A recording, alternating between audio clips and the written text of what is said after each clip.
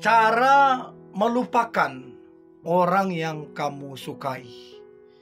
Jadi mungkin kamu pernah menyukai seseorang dan sampai hari ini kamu nggak bisa lupakan.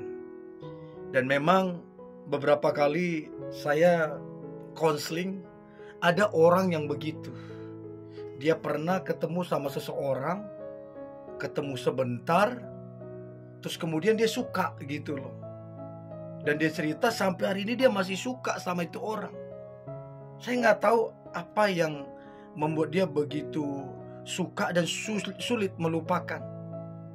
Ya, apakah karena penampilannya, apakah karena cakepnya, sehingga dia sulit melupakan.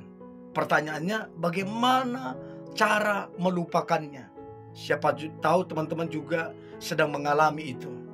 So, ada lima cara melupakan orang yang kamu sukai.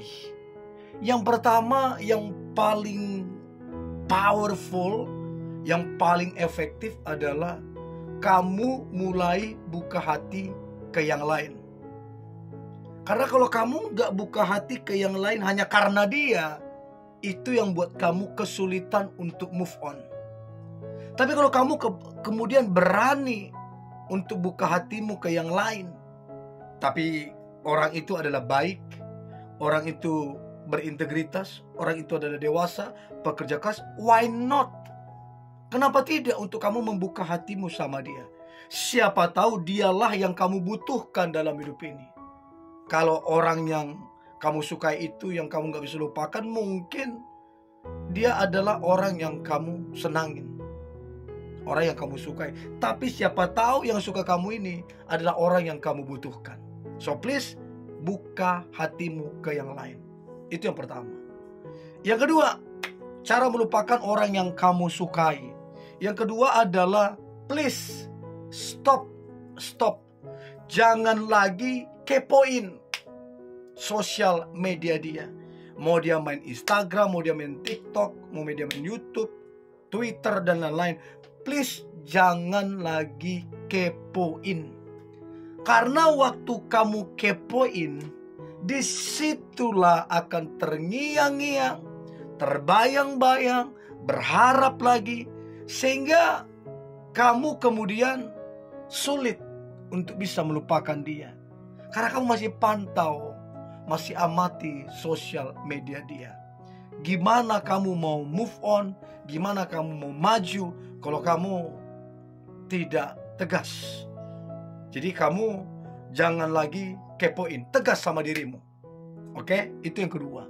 Yang ketiga adalah jangan lagi kamu berupaya, berusaha untuk kemudian menghubungi dia lagi. Apakah kamu cari nomornya dari temannya atau kamu yang minta sendiri?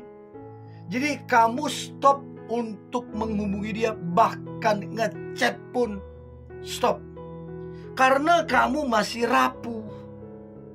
Kamu bisa belum bisa melupakan orang yang kamu sukai. Nah, kalau kamu nggak tegas, maka akan terjadi lagi upaya usaha yang kamu lakukan untuk menghubungi dia. Jadi so please jangan lagi menghubungi dia supaya kamu ketemu dengan orang yang tepat. Itu yang ketiga. Yang keempat, cara melupakan orang yang kamu sukai. Yang keempat adalah janganlah janganlah cari tahu tentangnya dari orang lain. Jadi kalau kamu pengen tahu banyak, kamu bertanya ini itu segala macam, jangan terlalu mencari bahkan stop. Jangan lagi cari tahu tentangnya betul-betul stop supaya kamu bisa melupakan dia. Itu yang keempat, jangan cari tahu lagi tentang dianya.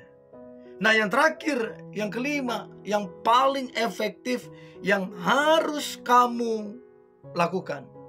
Cara melupakan orang yang kamu sukai. Maka yang terakhir adalah jangan lagi berharap sama dianya. Karena kalau kamu masih berharap, berharap, berharap inilah itulah segala macam, itu hanya akan bumbung waktumu, itu hanya akan menambah luka nanti di hatimu.